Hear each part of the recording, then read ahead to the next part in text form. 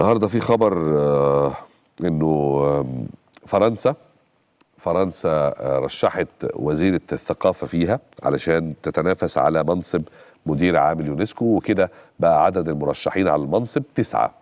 أنتوا عارفين إنه مصر منذ شهور رشحت السفيرة مشيرة خطاب لتكون مرشحة مصرية لهذا المنصب. ليه إحنا تعمدنا نقول لحضراتكم الخبر؟ علشان آه الوزيرة الفرنسية دي تقيلة. تقيلة يعني ليها وزن ثقيل. فمعنى كده إنه مشيرة خطاب هتواجه منافسة شرسة خصوصا من هذه الفرنسية على المنصب. لأنه في توزيع في أوزان الترشيح بتقعد تشوف طول الوقت الخطر جاي منين.